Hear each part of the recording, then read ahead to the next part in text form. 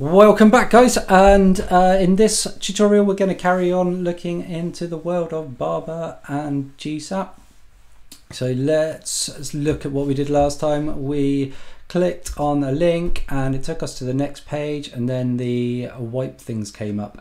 Uh, obviously we need to get things into the right order. Um, here we're going to have a little like milk is nice thing, loader, fake loader thing. Uh, and then what we want to do is trigger the um, fade in function. So if we come back here, so we want to say at the end of the loader animation, then we start this fade in. So to do that, first of all, we're going to start by getting that little, I've called it a loader, it's not really, but let's just do it anyway. Loader and comma, one second, and let's go for an auto, uh, yeah, I need a comma there, don't I? That might help. Auto alpha, and we want to take it to one. Okay, so now hopefully we should see that little loader thing come in. When we click on here. We get this coming up. Perfect. And then there we go. There it is. So um, let's first of all let's get these bars to move to stagger back up again before we do anything. So we come in in here below here. Um, let's give it some room here because we're going to be doing some work on this in a minute on this loader function thing.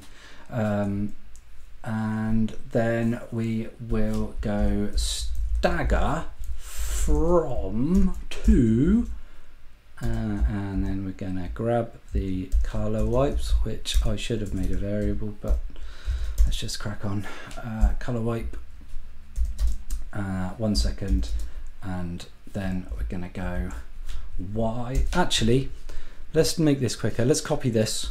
Copy this line here go back here. There we go. Color wipe one. And then the y we want to make it minus 100 and we want to go to minus 200 so that should move the whole thing up. So let's test this now. Boom. Uh, and there we go. So if we click on page two page two comes in and then we get color bars. Milk is nice. That finishes and there we go. So that moves back up. Perfect.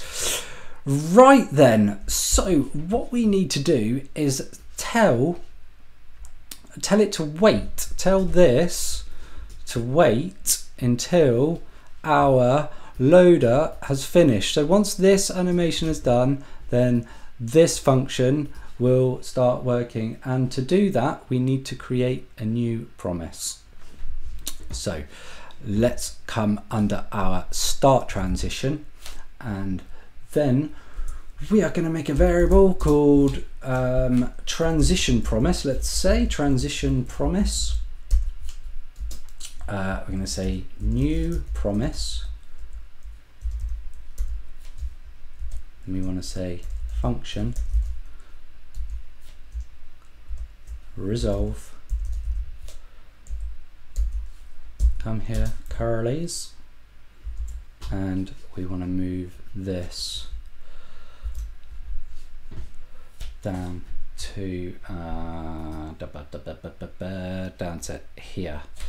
So let's put that in there like so and off there. Let's just give it some space.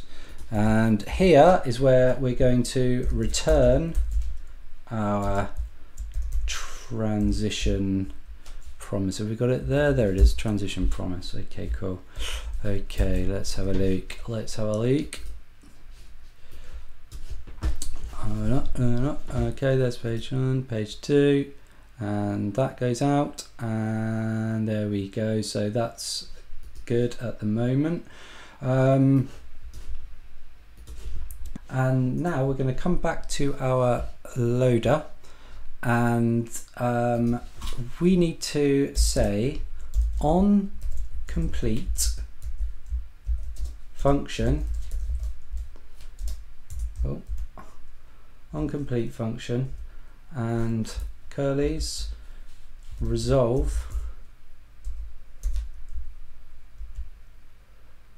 okay uh, let's go back in there let's just move this back so we can see what we're doing a bit better. Okay, let's see and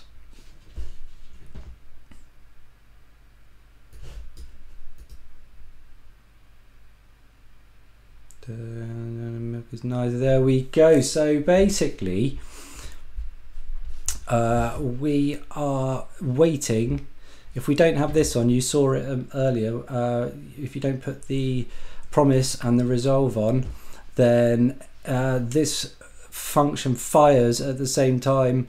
Everything fires at the same time, whereas we needed it to wait until our um, until our loader had finished and then we resolve it. So then that will start this function. So we can see again let's have a look back here and go back to, to so click on oh something wrong there but we can work on that in a minute.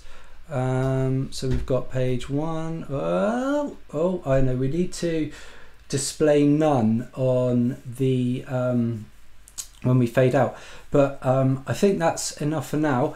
In the next one, we will look at uh, the other side. The um, let's come back here, and we can look at this fade in function, and we can get this all right. But um, thanks again for watching, guys, and I will see you in the next one. Cheers.